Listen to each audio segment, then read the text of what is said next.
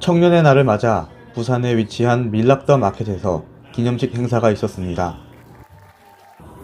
기념식은 부산 출신 댄스 그룹 팀 H의 공연을 시작으로 개회, 표창, 기념사, 청년 뮤지컬, 토크 콘서트, 그리고 부산 출신 가수 한해의 공연으로 끝이 났습니다. 청년의 날은 청년의 권리 보장과 청년 발전의 중요성을 알리고 청년 문제에 대한 관심을 높이기 위해 제정한 법정 기념일입니다. 청년 주간은 이 청년들의 행사인데 이 청년들에게 돌려주자라고 해서 어, 청년들에게 좀 즐길 수 있는 어, 행사들을 기획을 했고요. 이번 주제 자체가 부산 청년 라이프스타일 이야기 캠프입니다.